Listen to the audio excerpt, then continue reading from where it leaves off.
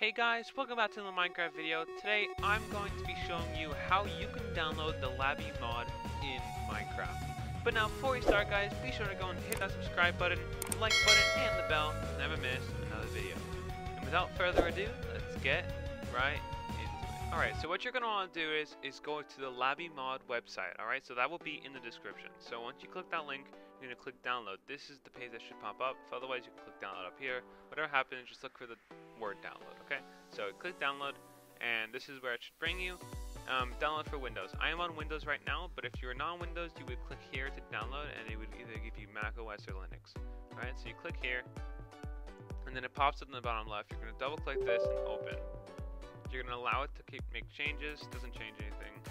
Uh, click yes, and this is where you would change uh, what version and what mod loader and that type of thing. So version 1.8.9 is personally the version I will use, and the Minecraft launcher, that's where we want it to upload, right? So I'm going to click next. This is good. You want Optifine, and these are any of the add-ons that you may want. So if you want voice chat or any of this type of stuff, you can check there.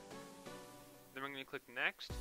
And once you click next, this is all good. You can agree to the terms install. Once you install, just give it a second. There we go. LabyMod is successfully installed. So now what you're going to do is you're going to open the Minecraft and this should open something like this. Okay, so once this opens, LabyMod right here should be fine. You're going to click play, give it a second to load, and here we go. It's opening up right now. LabyMod, and here we are. This is LabyMod, as you can see. And you can go to multiplayer, and let's say you want to go on Hypixel, so we're going to go on Hypixel, and we're on Hypixel right now. And here we are.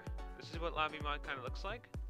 Um, I am using a texture pack right now, um, so if I turn off the texture pack, this is kind of what it would look like. So here we are. You have the bar on the, on the right, and then on the top left you have the FPS, which is your frames per second, along with the coordinates, and the direction you're going. Oh yeah, and if you want to change the settings, you can click escape, and you'll have these things on top, so add-ons. And this is the add-on you have here, so you can see what you have, and if you want to get rid of Optifine, you can click this.